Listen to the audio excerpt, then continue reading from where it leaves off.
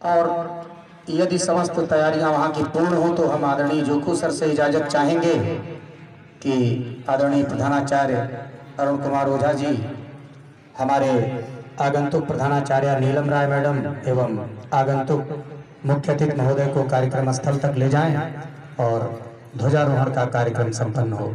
आदरणीय मुख्य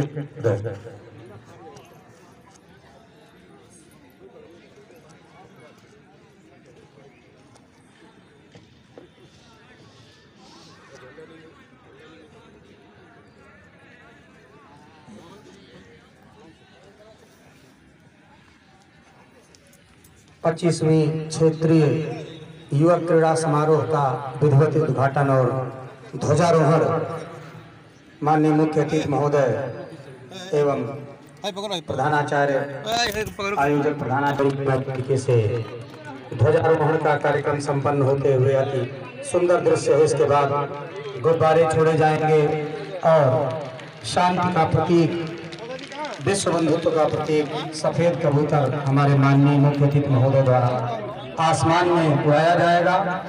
जो ऊँचे आसमान को नापते हुए ये संदेश देगा कि हम विश्व बंधुत्व ये शानदार प्रतीक छोड़ा गया और ये आसमान की ऊंचाइयों में उड़ते हुए ये सफ़ेद कबूतर शांति का, सौहार्द का और स्वस्थ स्पर्धा का बहुत दूर तक ले जाएँगे।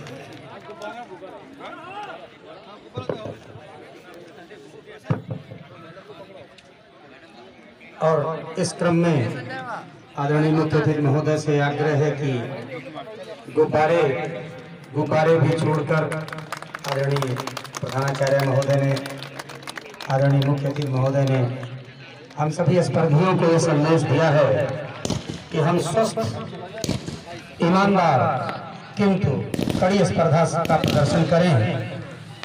देश ही नहीं, दुनिया के फलक पर हम अपना नाम रोशन करें। हम आग्रह करते हैं आदरणीय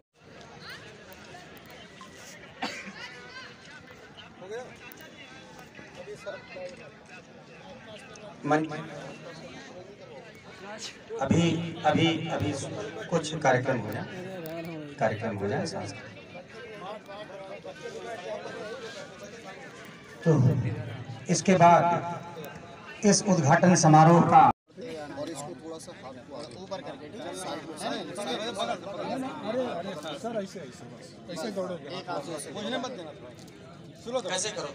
ये दोनों हाथ से मत पकड़े जाओ एक हाथ से। चलो अब अब ऐसे करो मैच नहीं चल रहा।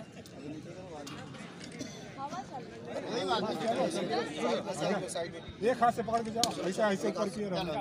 ऊपर किए रहना। हाँ दीप प्रज्वलन मशाल प्रज्वलन हो पूरे मैदान का ट्रैक पर ये चक्कर लगाएगी। मशाल तालियों से हम स्वागत करेंगे।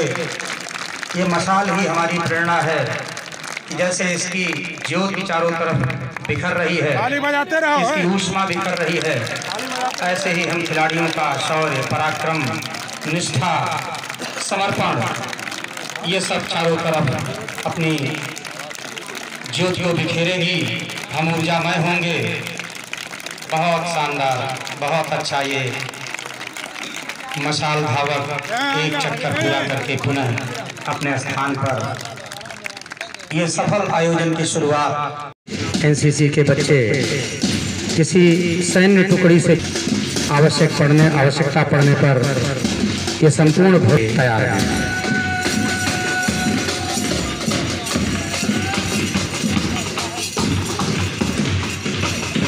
ये सुंदर नैना यहाँ पर प्रस्तुत है। कॉलेज और अन्य विद्यालयों के के लिए होकर हैं।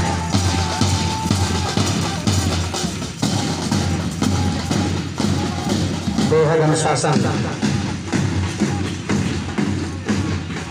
एवं टीम भावना से युक्त ये बच्चे हमारे देश का भविष्य है और इसके बाद विभिन्न टीमों के, विभिन्न विद्यालयों के क्रीड़ा टीमें यहाँ पर सामने से गुजरती हुई। ये बच्चे दो दिन तक एक स्पर्धात्मक, रचनात्मक स्पर्धा में एक दूसरे को पीछे छोड़ने की होड़ जब लगाएँगे तो रोचकता से पूरा मैदान सराबोर रहेगा। हम सब साक्षी होंगे कि किस प्रकार ये बच्चे अपनी ऊर्जा, शौर्य, जोश और अनुशासन का प्रदर्शन करते हुए अपने अपने टीमों के लिए गोल्ड सिल्वर और ब्रॉन्ज मेडल प्राप्त करने की होड़ लगाएँगे। एक मिनी ओलंपिक जैसा भाव यहाँ पर दिखाई दे रहा है, जिसके लिए